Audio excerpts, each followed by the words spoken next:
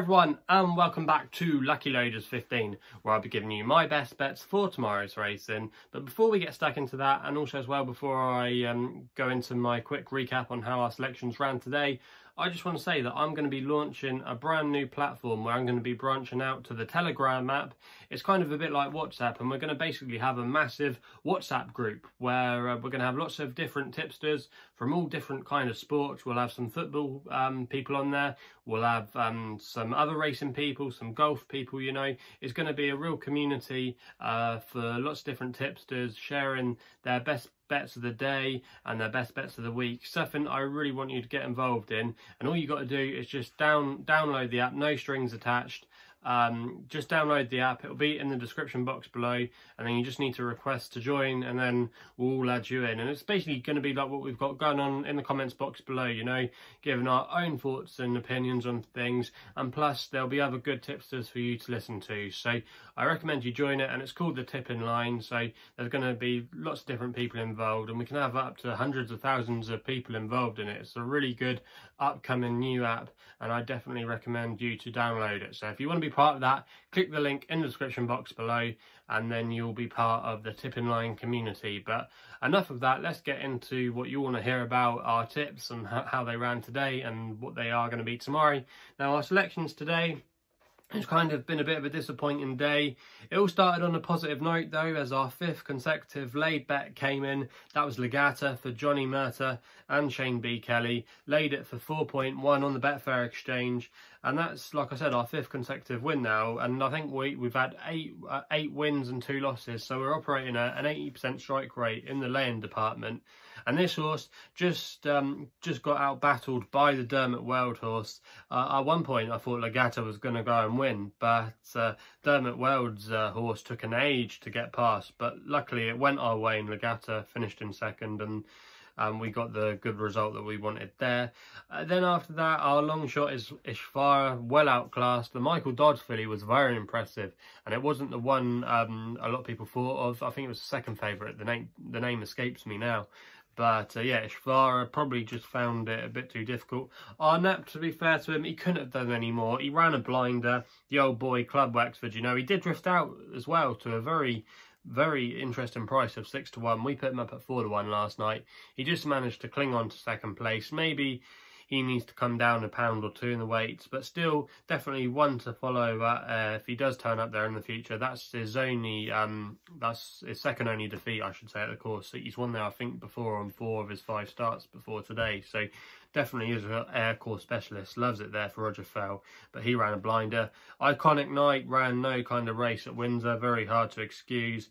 But however, our next best at the current time of recording, it's just after seven o'clock. So um, our next best is still to go in the eight o'clock at Windsor. Grand Bazaar was put up at five to two last night for Johnny G and um, has been backed into five to four favouritism. So hopefully, fingers crossed, we can get out of jail there for the day and just come out with a small loss. But uh, yeah, it's been a little bit of a frustrating day today, but hopefully we can bounce back tomorrow and get some winners back on the board and it's all going to start for us in the 4.45 at Beverley. Now I'm going to be going here with a horse called Quoteline Direct, which is currently 11 to 2 best odds with bookmakers at the moment. I'm just going to recommend the win only bets here, and this is going to be um, this is going to be my next best for Mickey Hammond and Graham Lee. Now this horse is down to a very um, low mark now of 57, and it's suggesting that it's going to win a race anytime soon. And I thought this horse was really unlucky at Beverley not to fight out uh, in the victory, or at least give the winner um, the chance. So it's going to be reappearing uh, against tomorrow. I can't remember the name of the horse now, but uh, yeah, it's going to be going against that winner again. And this horse, uh, Quoteline Direct, uh, just got into um, just got into a bit of a pocket and was squeezed for room when staying on really strongly. I would recommend anyone who hasn't seen the race and replay to go back and watch it because I definitely think Quoteline Direct was going to get involved. Now, like I said, this horse is back down in the weights now off a reasonable mark of 57. It's one off, off a higher marks in the past. And Mickey Hammond's yard, they're going in okay form at the moment. They're operating at 25% strike rate. Okay, they've only had one winner from four runners, but they're, they're going okay, you know, and they could have a winner here. And even though you've got the Karen McLintock horse in here, Zabeel Star, Um, Bill Star, he needs he needs a lot further, and this will come on the short side, I think, for him. So Quoteline Direct, you know, I think um, his time is coming to going again, and at 11 to 2, if he can show his promise last time out, he should have enough, and I think he's definitely underrated in the market, and that's why he's going to be my next best. We then go to Chepstow for the 540 with a horse called Somewhere Secret. Currently 15 to 2 with bookmakers at the moment. And this horse is trained by Michael Mullineaux. And Richard Kingscote is booked for the ride, who is a very interesting jockey booking. He's riding great guns at the moment. Now this Somewhere Secret uh, ran a bit of a strange race last time out and uh, wasn't given much of a hard ride, but stayed on quite strongly uh, to, uh, to, finish in fifth place. And that was over five furlongs. And it's going up tomorrow um, up in trip to six furlongs, and I think that'll suit it. It's one over the course and distance before, so that shouldn't be an issue. And he's back down to his last minute, last winning mark of 64. And in this company, of a mark of 64. He's definitely capable of running a very good race out of this. There's four places on offer at the moment with some bookmakers, and I think at 15 to 2, this looks an absolute steal. And the interesting thing is tomorrow they're going to be putting some blinkers on him, which could really help him. He, he, like I said, he's been a bit of a quirky customer. He's worn quite a few types of headgear, but he's back down to his last winning mark now, and I like it normally when they put the blinkers on first time. It can normally have a very positive effect. It can make the horse concentrate. And I think this horse, like I said, back over course and distance tomorrow where it's won before over six furlongs. It looks very well treated and I think it's definitely definitely going to go very close. So that's going to be uh, loaders extra tomorrow. That's just going to go in our extra column. We then go my lay where hopefully we can make it six consecutive lay bets in a row and we're going to take on Combine in the 625 at Kempton. You can currently lay this horse at 3.0 on the Betfair exchange for Hugo Palmer and Ryan Moore. Now Hugo Palmer's stable have been going okay and Ryan Moore, you'll know he's my favourite jockey at the moment, you know, top rider, you know. But uh, no, no, he's not. I, I can't stand stand uh, stand him at the moment. You know, um, I just think uh, he's really hot and cold, and he, he's he's getting too overhyped by some people in the racing media. I think there needs to be a bit more criticism of him because I think he's been calling it a lot more wrong than right recently, and you've only got to see that on like the likes of Anthony Van Dyck, so Dragonet last week. You know, horses that um that are hanging out the back, and then he's looking for for pathways where maybe they shouldn't be given those style of rides. He needs to. Uh, I think he needs to adapt, or maybe he need they they need to to remove him from Ballydoyle. You know, I think Seamie Heffernan, Wayne Lordan, you know, and even some of the lads that were filling in for uh, Ballydoyle over here, Tom Marquand, you know, why not give him a chance? You know, he's just been thrown off um, English King in in the in the Derby for. Um, for, for that race, uh, Frankie Dettori's been booked for the ride, but why not give Tom Marquand a go for the Ballydoyle job a bit more? You know, he, he could be very capable uh, in a job like that. But anyway, back to this combine. This combine uh, finished third behind Frankly Darling on heavy ground as a two-year-old at Yarmouth. But even though Frankly Darling didn't win that race, the win the horse that did win it was Cabaletta for Roger Varian. And Cabaletta ran an okay race at Newbury. She didn't run a brilliant race, but she ran okay. But it's hard to say whether Combine, even though she's got probably the most standout bit of form in the race, is going to kick forward from that. And I thought 3.0, that was quite a bit short on the exchange. On the exchange, and you're going to have some nice types in here in this uh, maiden novice race. You're going to have the likes of Saeed bin Suroor, Michael Stoute, Roger Varian, James Fanshawe, you know, some big power yards that could easily take a step forward with some of these horses that have ran okay so far.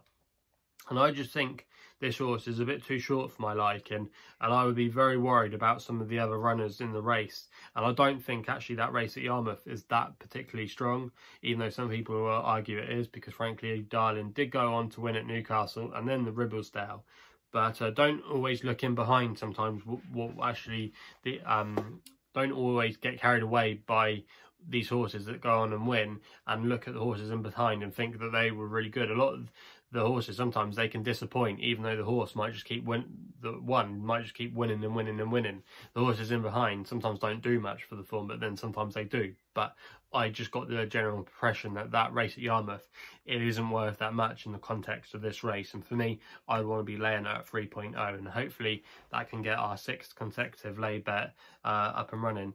We then go um, in the 825 with my long shot. Now this is a crazy price here uh, that I'm going with. Some of you might think I'm absolutely bonkers, but I thought a level of um, intensity at 50 to 1 with four places tomorrow could be a bit of a fun long shot bet. Now this horse is trained by Nigel Hawke and Franny Norton is booked for the ride. Now I like Nigel Hawke when he sends his runners over the flat. He's done me a few good turns. Le Musée is the horse that was frustrating and actually did win last last week and won two on the bounce now, I believe, at Newcastle and at Chepstow. If you actually go back and watch the ride, I can't remember who was on it that day, but at, at Chepstow last week, blimey, the jockey who ever was on that, he never gave up. That was definitely ride of the month, and she needed every yard of the two miles. But when he does send his horses, his jump horses on the flat, they often do all right. And even though this horse didn't beat a single rival home at Lingfield, shaped like it needed the run, had a pretty much of a, of a wide trip, and it didn't help. But that the mark now is 55 for this horse, and the handicap has dropped dropped him five pounds.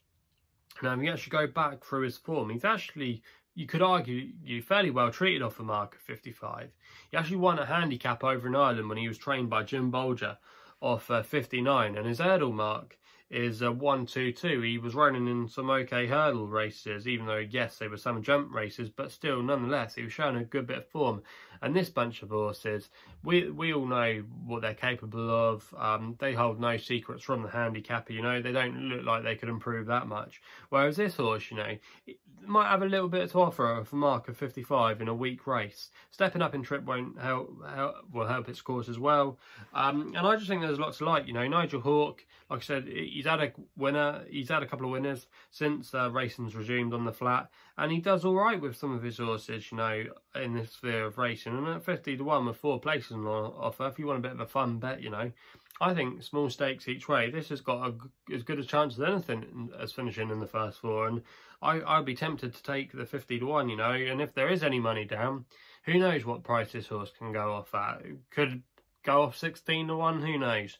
Maybe, hopefully, some of you might back it and then force the price down. But yeah, this level of intensity, you know, at 50 to 1, you know, I've, I've seen worse 50 to 1 shots, and, uh, and some of you might think I'm barking mad, but I, I fancy this horse to run an alright race tomorrow. So that's going to be my tip there. My nap of the day then comes in the final race at Kempton in the 8.55 with a horse called Anno Lucis.